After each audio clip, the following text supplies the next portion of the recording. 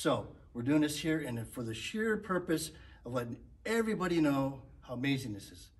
So we're here today training legs, at least we're trying. This is a leg curl machine.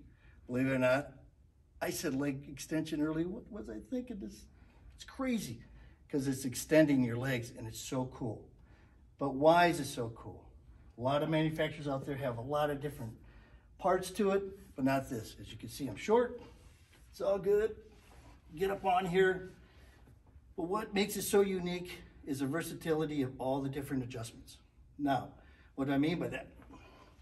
Some adjust here, like this. Some do, many don't. It's all good. Some have the seat where you got to get off it. Adjusting. Oh my God, this is crazy. Not this one. Squeeze this darn thing back and forth. Oh man, how cool is that? That's nuts. Now, some have that. Some have this. What is this?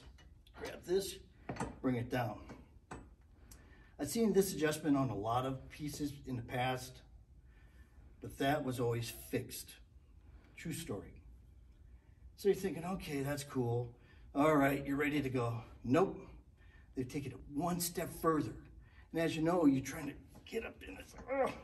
Well, this allows you to adjust. Why is it a big deal? Not everybody can stretch their legs straight out. We take it for granted, especially when we're 20 years old. I did. But here's the thing. This equipment is all about, and I'm going to emphasize this, injury mitigation. The biomechanics are crazy perfect. I say that, I mean, it just, you can be near crippled because of all the years of being an athlete, but never will you be able to work out the way you wanted to. This equipment allows you to do that. You do it long enough, you're going to get hurt. Like I said before, you're going to be with a chiropractor, you're going to be with the orthopedic surgeon, or you're going to be getting a cortisone shot or whatever. Let's quail that before it's too late. That's what this equipment does. People say, well, I want to use that heavy free weights, bench, deadlift, blah, blah, blah. Remember this. People say, oh, he's so big he did that. We didn't have anything else. For sake, really? Shite. Didn't have it. We have it. We're using it. This is crazy. So now it's all set. I brought it back. Everything's where I want it. Oh my gosh. Smooth as silk. Like I said before, Jack Daniels peanut butter whiskey. This is nuts. Look at this. You can load the weight, which makes it nice. If you got somebody on the other side, they can help spot you by pulling this. Seems like no big deal until you use it.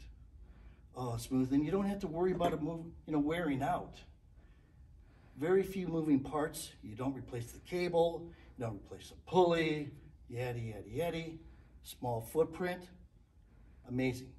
So again, I want to thank the Panatta family and Leo's wife at the Pleasure Dome. We're doing this. Train legs. Have a super day and good luck. Come on down, check it out. It's awesome. Have a great day. Sweet.